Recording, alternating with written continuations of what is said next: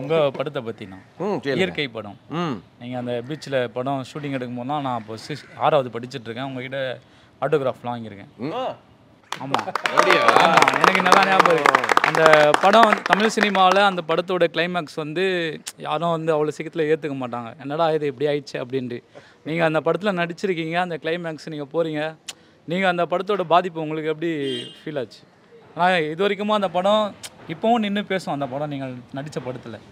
அந்த படத்தை பற்றி இல்லை அது ரொம்ப ஒரு சிறந்த படம். ஏன்னா எங்களுக்கு அது ரெண்டாயிரத்தி அஞ்சில் நேஷ்னல் அவார்டு வாங்கி கொடுத்துச்சு. ரெண்டாவது வந்து அதை டைரக்டர் வந்து ரொம்ப சிறந்த மனிதர் ரொம்ப நல்ல மனுஷன் ஜனா சார் அந்த படம் ஷூட் பண்ணும்போது நிறையா கஷ்டங்களை ஃபேஸ் பண்ணாங்க ஜனா சார் பட் அந்த அவார்டு கிடைச்சதுக்கப்புறம் எனக்கு என்ன பர்சனல்னா ஜனா சாருக்கு அந்த அவார்டு கிடைச்சதுல எனக்கு ரொம்ப பர்சனலாக ரொம்ப சந்தோஷம்.